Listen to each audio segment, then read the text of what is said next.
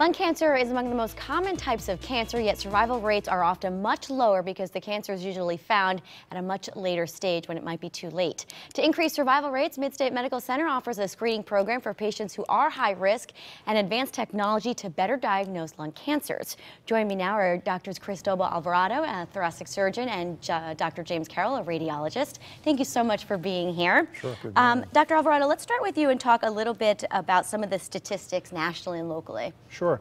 I, I, think a lot of your viewers might be surprised to find out that uh, lung cancer actually kills more Americans than people who die of breast cancer, colon cancer, and prostate cancer combined. Mm -hmm. So it really is a, a, a, terrible thing for our society. About 160,000 people die every year from lung cancer. Um, and this is uh, Lung Cancer Awareness Month. I noticed that you have your pin on, uh, just raising awareness, right? Yeah, just trying to bring some uh, awareness to those those types of statistics. We know that pink is uh, breast cancer in October right. and white is for lung cancer. Correct. Okay. Um, and Dr. Carroll, let's talk a little bit about why uh, lung cancer survival is uh, possible with these advanced uh, screenings. Well, one of the things that, that has changed is our ability to find lung cancer early. Mm -hmm. In the past, people used chest x-rays, which use two pictures to display the chest. Now, CT scans can use a low radiation dose and obtain hundreds of images that display the lung parenchyma in very uh, detailed, a very detailed fashion. And it allows us, instead of looking for cancers that are the size of a pea, we can now find small nodules that are the size of a grain of rice.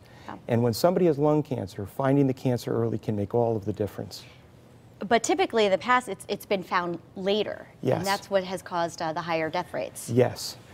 But with the new screening, as we're trying to um, discuss here, you have a better chance of survival. We do, and, and one thing that we realize too is that it takes more than a CT scanner to help someone who might have lung cancer. And that's why Midstate Medical Center has, has recently begun a multidisciplinary screening program. And with that program, it revolves around a, an individual called a lung screening navigator. And that navigator can field phone calls from patients and help them decide if screening might benefit them. The navigator also provides resources for healthcare providers who want to screen their patients. Mm -hmm. If somebody is at high risk, the navigator can help them schedule an exam and will also contact the patients personally with the results.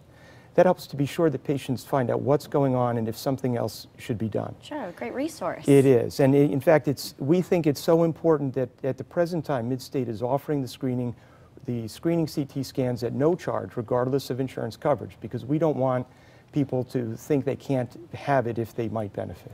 Sure. I, uh, doctor, you mentioned uh, high risk. Who's high risk for lung cancer? Well, the, the uh, National Lung Screening Trial uh, is a scientific study that concluded a couple of years ago, and it suggests that people who are between the ages of 50 and 74, 55 and 74, mm -hmm. who have uh, either are smokers or stopped smoking within the last 15 years and have a greater than 30 pack year history of smoking wow, are okay. people who may benefit.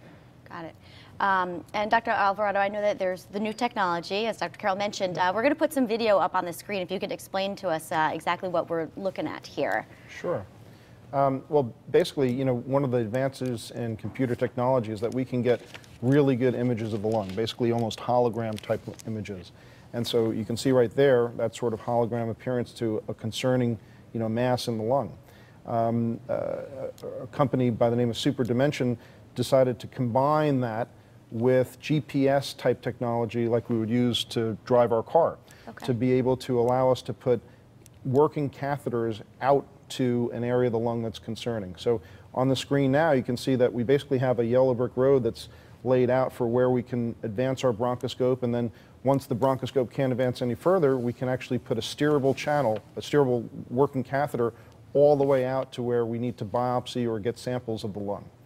Um, on the right-hand screen, you see the image from the bronchoscope, and on the left-hand screen, you see what's essentially a virtual bronchogram uh, that shows us where we need to go.